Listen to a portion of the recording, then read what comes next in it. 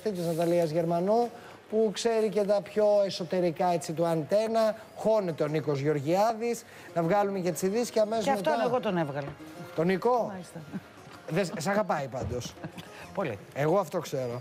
Λοιπόν, ε, να πάμε στον Νίκο Γεωργιάδη Γιώργο, τον Ο οποίος οποίο τα τον λέει με συνάντησε. χήμα και τουβαλάτα, μιλάει για, το, για τη σχέση της Τσιμψιλή με τον Α και τι συμβαίνει εκεί πέρα σε αυτό το κανάλι. Γιατί ο Βερίκος εσύ είπε το μοναστήρι ήταν καλά και από καλογέρους. Αλλήμον, ο Άλλο Βερίκιος. αυτό. Ε, ναι. Σχολιάζει. Συγγνώμη, Να μην μιλήσω τώρα και για τον Βερίκιο, γιατί μου ανεβαίνει το αίμα στο Μετά, κεφάλι. μετά θα δεις τι θα πει και θα δεις.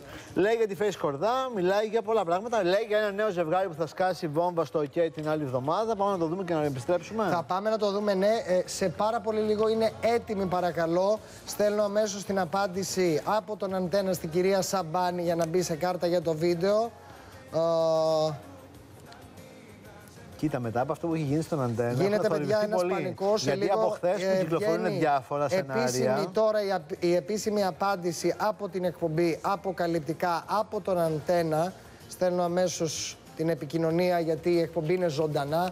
Α, πάντα ο Αντένα ζωντανά λοιπόν απαντάει α, για τις φήμες περί απομάκρυνσης του Γιάννη Λάτσιου επώνυμα, ζωντανά. Σωστό. Θα μαθευτεί όλη η αλήθεια σε πάρα πολύ λίγο. Θέλω να σας πω μόνο ότι ξεκινάνε τα πέντε λεπτά.